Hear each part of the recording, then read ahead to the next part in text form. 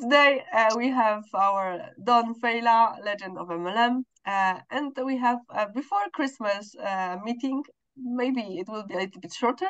However, uh, Don have probably very nice uh, information for you about how to own your life. Don, the stage is yours, please. Are you ready? Yes, please. Okay. Well, first of all, I'm not going to be mentioning any company or products. We keep uh, this thing neutral. Uh, but I will tell you this, that I started with the company I'm in now for uh, about 25 years ago by sponsoring four distributors. And those four distributors have grown to over 1,400,000. And 95% of all those distributors came from the original four. So that's got to tell you something right up front that you don't have to recruit. Note the word recruit a lot of people to build a large organization. What you need to do is sponsor and teach people to duplicate. Now, if you're new and you don't know what duplicating means, it simply means that when you sponsor someone, you help them go three or four more levels deep. If you don't duplicate, you will never, ever uh, build a large business. Now we have an analogy here that it's napkin presentation from number four from my book, which uh, basically tells you that your business should look like the biggest building you've ever seen in your life. And that building represents huge income. But see, you cannot see the building and you cannot see the huge income until you do the foundation for the building. And to build a large building, you got to dig a foundation deep. And that's what happens when you duplicate.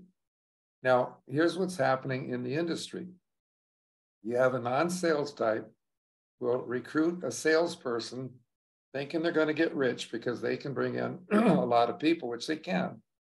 They can uh, literally recruit 50 to 100 people in six months to a year. But see, at the end of the year, They haven't duplicated himself one time. So when that happens, now, you know, they think there's something wrong with the, well, they're losing people faster than they can add them. So they think there's something wrong with the company, the product, the marketing plan, their sponsor, whatever. But someone shows them another hot program. So they're off to the races now in the new, new hot program. Okay. So guess what happens after a year with their new program? Same thing, no duplication. Now they're off to their next hot program. And this can go on, gosh, you're going to run into people been in two, three, four or more programs. And when you do, just let them know that they did not fail in network marketing because they never did network marketing. Uh, they did sales, and sales does not work. And you're going to understand that more as we go here. So anyway, I want to tell you a quick story about a person by the name of Jimmy the Butcher Smith. He was cutting meat. He was a butcher for like 42 years. And um, he had to retire because of a back injury. Now he got into network marketing, said he loved network marketing, but he didn't do network marketing. He did sales, okay? Never made a lot of money. So anyway, he was in 10 different programs over a period of 10 years. Came across my training material. He learned that we do not recruit people to sell, but we sponsor and teach people to duplicate. He was 52 at that time. And when he got to be uh, 70, he, uh, he was worth 35 million. And when he got to 92, he was worth 90 million. And we have a recording of an interview he did with Eric Worre, where he mentions me a couple times and that I'm 100% responsible for his success. Another quick testimony from a guy by the name of Jordan Adler, actually in the business for 11 years. Never could sponsor anybody because he kept trying to recruit people to sell. And, you know, 95% of the people want nothing to do with selling. Uh, anyway, he came across my book actually in a garage sale yeah, he bought it for 25 cents and he's now a multi, multi millionaire. Now, 100% of the people in the world who are not in network marketing do not understand it. 80 to 90% of the people who are in it don't understand it. And you'd be amazed how many company owners don't understand it. So, anyway, uh, that's why my book now sold over 11 million copies. It's in all the major languages. Because, see, when people read it, they understand it. And then we coined the phrase that now they know how to drive, and you'll understand that a little bit more in a few minutes. So, anyway, um, what I want to do now is talk about your market. If you think that you are selling hot health products and so forth, you have a very, very small market. See, basically, 100% of the people, excuse me, 15% of the people in the world are either uh, sick, health, or in, uh, into health, sick, hurt, or into health. And um, so if you think you're, you know, selling to health people into health, you actually have a market of 8%. Anybody that would argue that I say, well, you know, just um, uh, look at your supermarkets in town and then look at your, you know, health food stores in town, you won't, you won't have 8%. So that's what's happening in the industry is that, you know, people are looking for people that don't even care about what you got to say about health. Okay. Small market. Now, another problem is you got a lot of competition. As I already said that, you know, 80, 90% of people don't understand it. And they're actually looking for those, those, that small percentage of people that, uh, very small percent of people that want to sell. In fact, all these new companies that are starting, and there's like 2,000 new companies now and more starting all the time, they all make the same mistake that causes them to fail within their first two years. They recruit a sales manager. Why would you recruit a sales manager when you're not in sales? Well, there's two reasons they do. Okay. Most of these companies are started by salespeople and they don't understand network marketing. So they recruit a sales manager to recruit people to sell their products. And when they do that, you know, there's no way that they're going to make it. And 90% of them will be out of business before two years. Okay. Now, small market, a lot of competition. Here comes the biggest problem 95% of the people want nothing to do with selling. On the news here in America a few months back, they were talking about and said there are only 4.7% of the people uh, in America want anything to do with selling. So, give you something to think about. You've got 95% of the people in network marketing looking for the 4% of the people who can't make it. Now, when I say they can't make it, a salesperson, if you know some people in sales, can be huge under two conditions. They got to forget about sales and learn network marketing because you know they don't they don't understand it. And that's the the other thing they need to understand it.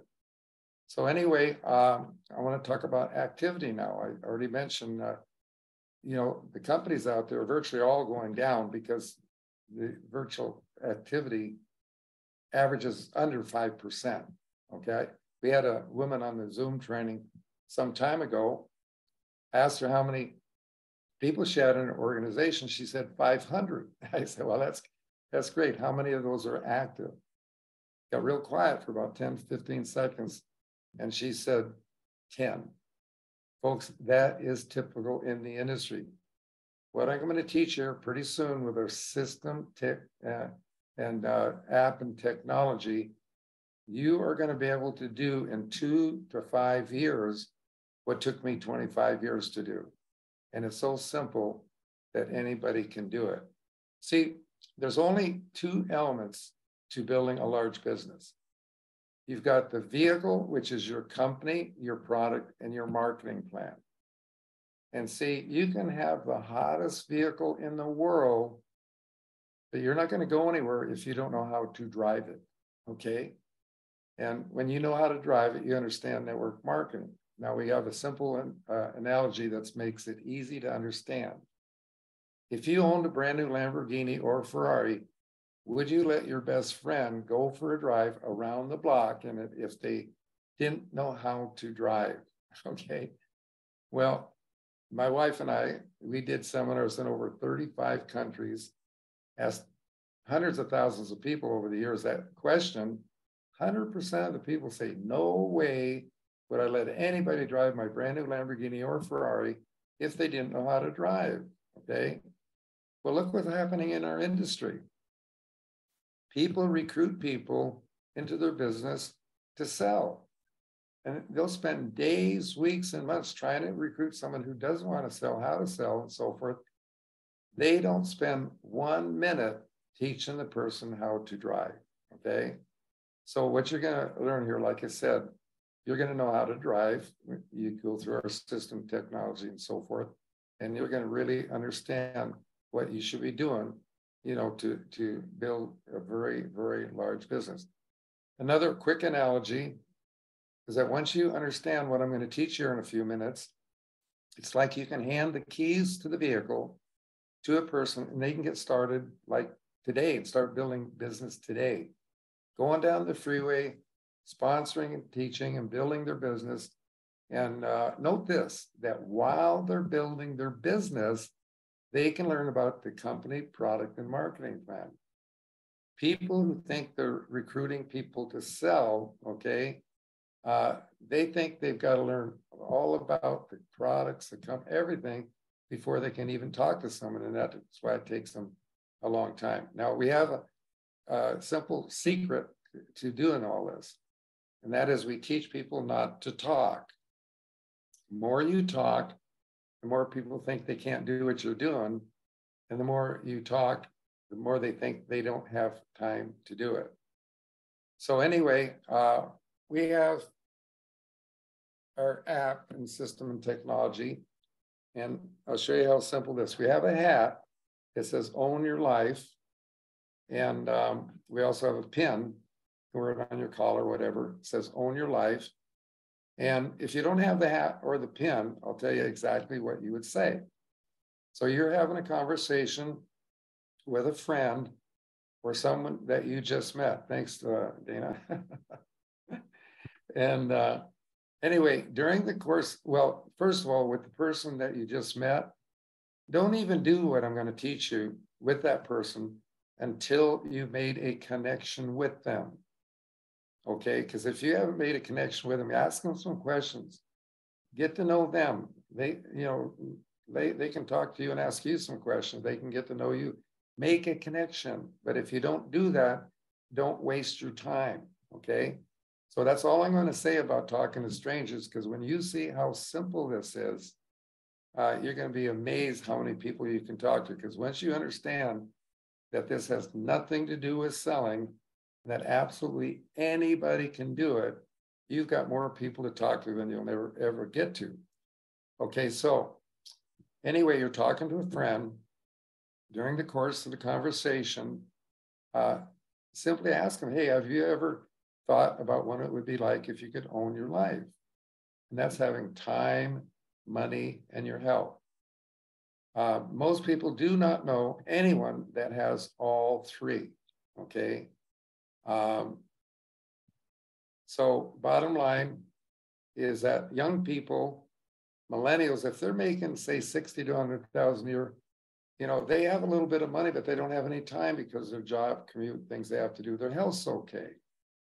Older people have a lot of time, but they're running out of money and their health's going bad. So it, it's a simple question. How would you like to be able to own your life at a time in your life when you could enjoy it? What can they possibly say? They can say, Don, I just want to keep my stupid, dead end, boring job, work the rest of my life, and end up broke. Or they say, Gosh, that sounds interesting. Can you tell me more?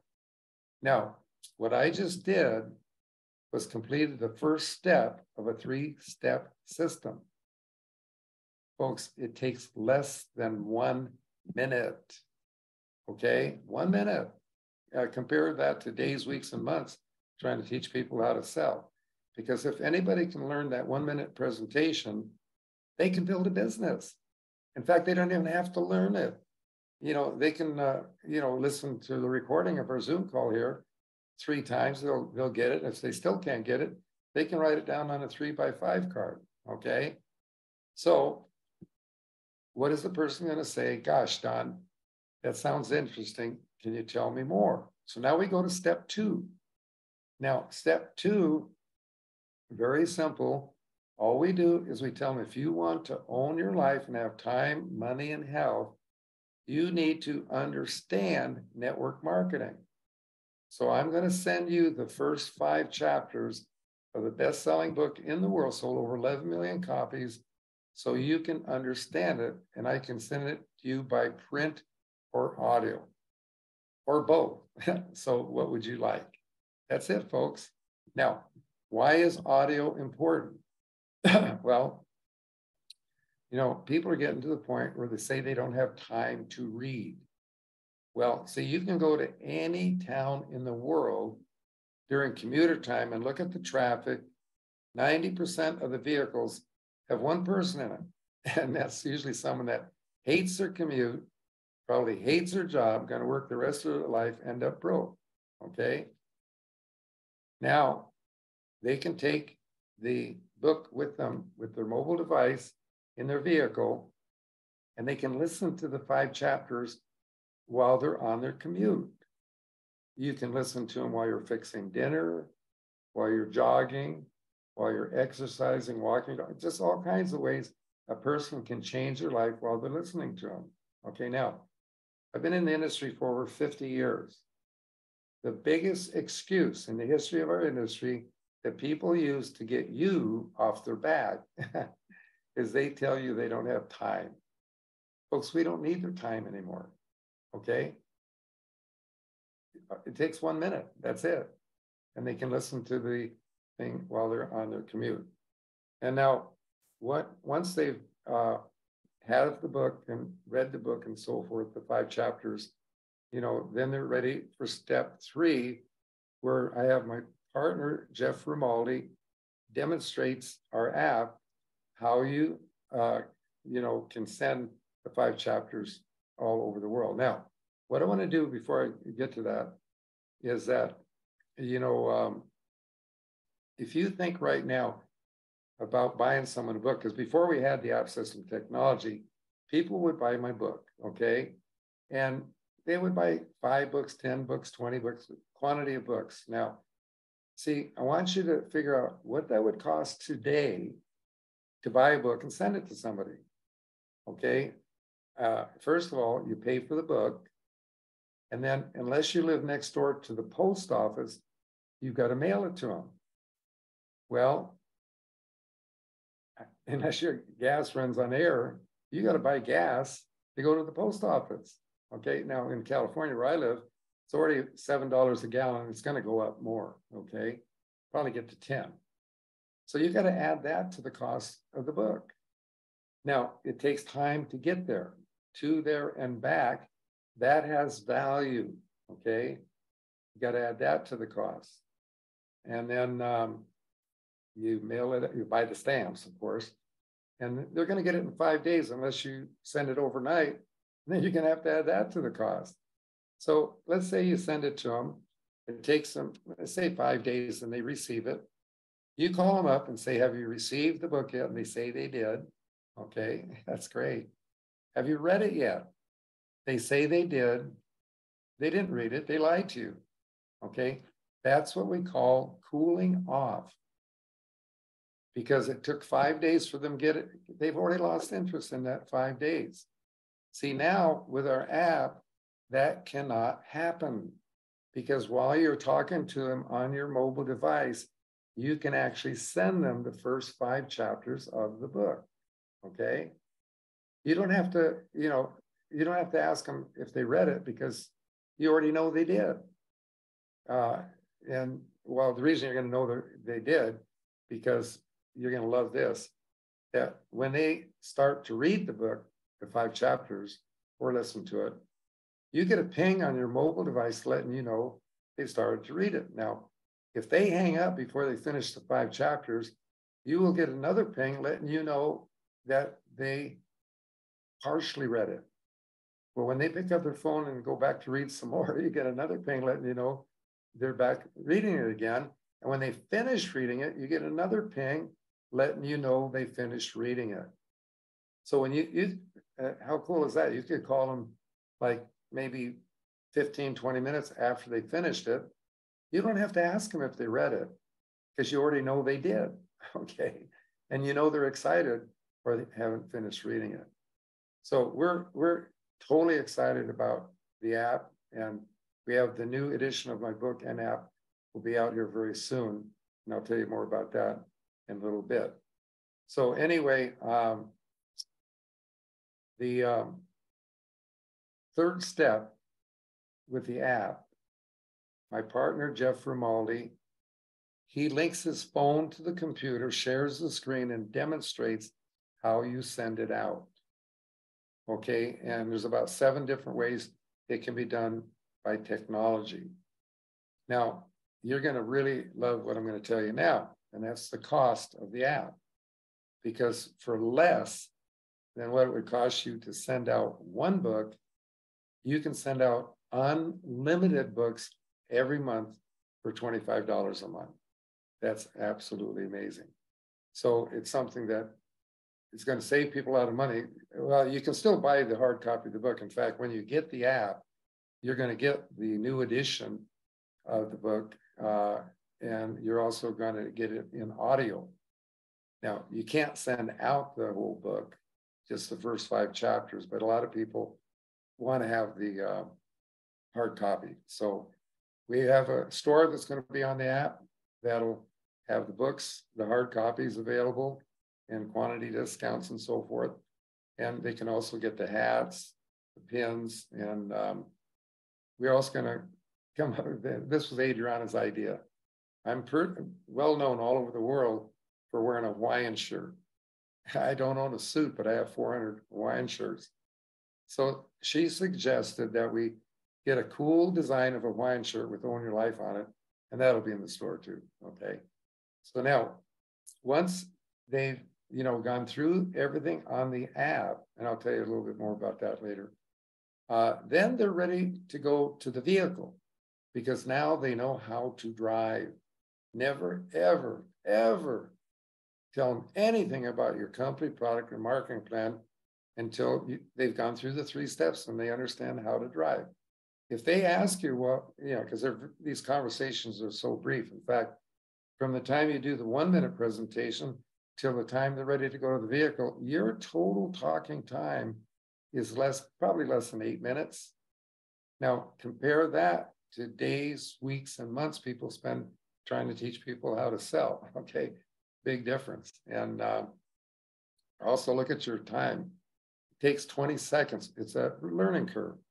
Once you have seen the demonstration how to do this and you've done it yourself three times, okay, uh, you're going to be able to send the five chapters out to anywhere in the world. It's going to take you 20 seconds. Okay, compare that to when it used to take people time to go to the post office and back. So anyway, uh, they're ready to go to the vehicle, and you do that the way you've always been doing it. Now, if they were to ask me, you know, what are you selling? What's your products? What's your company? And I tell them, I lose, okay?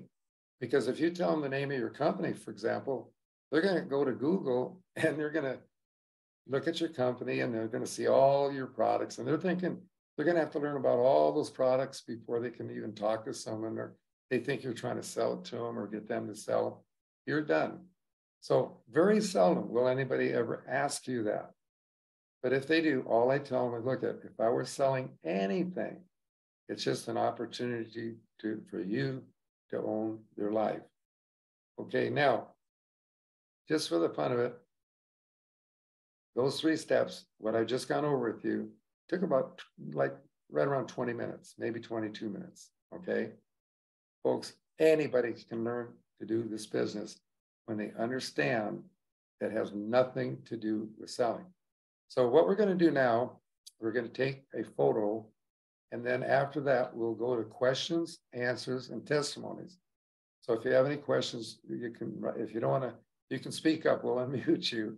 or you can just write them down, send a chat to Adriana, and she'll do it for you. But uh, the reason we stopped the, the uh, video here after, you know, by, the time we're through the uh, questions and stuff is that if if it goes too long, then when people uh, can't send it out to people because they can't open it.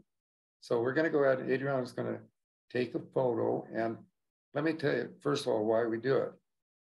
When we started doing the Zoom calls, you know, uh, someone asked if they could take a photo, and we said, "Fine, not a problem." Then someone asked, "Can we take uh, and post it on our Facebook?" And I said, "Well, not a problem, as long as you don't mention your company or product."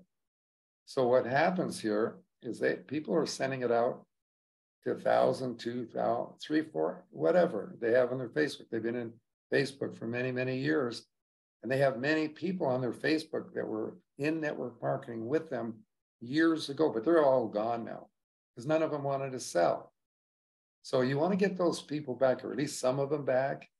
We do the uh, uh, apologetic approach. Okay, real simple.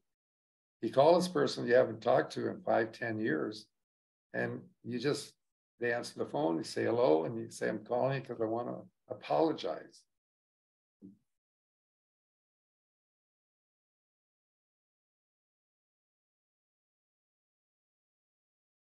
You notice how powerful silence is? Well, they're going to say, Gosh, you know, why are you apologizing? You say, Well, remember when I got you into that network marketing program all those years ago? Well, see, I, I want to apologize because, see, I didn't know what I was doing. Be honest, okay? I was trying to get you to sell products and so forth. That's not network marketing, it has nothing to do with network marketing. I went to a training with one of the top trainers in the world on network marketing, and I learned that it has nothing to, to do with sales.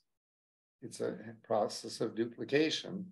And I have a Zoom training that runs less than 30 minutes that if you'd like to look at it, you can understand what we're doing now. And if I had known what I know now, what I did back then, you would have already been retired years ago. Because once people go through the Zoom training, they can see that they're going to be able to own their life, have time, money, in health in, like, say, two to five years. So, anyway, just that's it. You know, they either want you to send it to them or they don't. And you know, it's a big deal if they don't, because you might have 500 people you're sending them out to, and uh, you could pick up a pretty good, pretty good bunch of them. So we'll go ahead and take the photo, and you know, this is totally exciting because I tell you, we got so many people shopping that normally there's always a few people that don't have the picture up. This is 100% today, Adriana. We got. Yeah, yesterday, yesterday we have even even better because everybody on our Zoom was in hats. Oh, yeah, that, okay. Yeah, that, that, that was great. But we did have one person that wasn't uh, on the photo. yeah. All we need to do is smile and. Okay, so let's, let's do the photo smile, thumbs up, or, or I don't know, hearts yeah. or whatever you want. Okay, three, two, one, smile. Thank you. Got it. Okay, so now we're ready for questions, answers, and testimonies. So. Not not ready. Wait, I have to uh, stop the recording. Wait, uh, save the photo. Okay um,